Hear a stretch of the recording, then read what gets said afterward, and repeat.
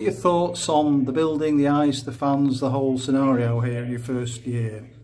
It's uh, incredible. I really wasn't sure what to expect coming over here, but the fans have been so supportive, and it's a huge crowd, big building. Yeah, it's great. You came over from uh, directly from the DEL. Um, what was that like, and why have you changed direction? Was it was it just uh, time for you to leave Germany? Yeah, there's a a few reasons, I guess. Um, I've, I've heard good things about this league and the Steelers, and I was looking forward to that. I'm also really excited to get my master's degree in uh, the University of Sheffield, and um, it's really nice to be back in an English-speaking country for for one thing, and um, my wife can work here, so it's there, there's a lot of pluses that uh, factored in for sure. Do you expect that MBA package to um, impact on uh, on your life hugely? Because it's hard enough being a professional athlete to begin with, isn't it?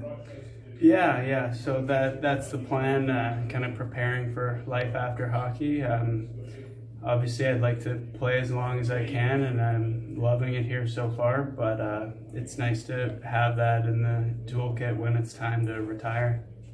Now, you're obviously a two-way player. Did you used to play on uh, on forward, didn't you? Yeah, I played. I was a forward until I was 15, and then I switched to defense my fir- first year midget and uh, all of junior, and then uh, in pro in the DEL, I played a little bit of uh, forward uh, sometimes when they needed me when they had an injury or something like that. So kind of kind of can play any position. And on a power play, where do you like to position yourself best? Because I, I noticed you moving around a bit tonight.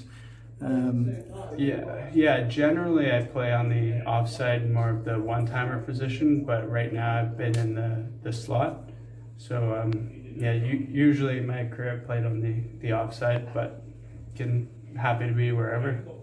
You got Manchester in this building uh, next Saturday. Uh, having lost at home to Coventry, you've really got to make it up to those fans, have you not? Yeah, absolutely. So we'll we'll get a get them a win against Manchester. You know much about Manchester, the play, the players there? No, no, I, I don't. Not, Okay. not really. I know it's a nice city. And you know that uh, the league is everything, isn't it? I mean, the playoffs where you where you've played is everything, but the league is the one here. Have you bought into that culture as well?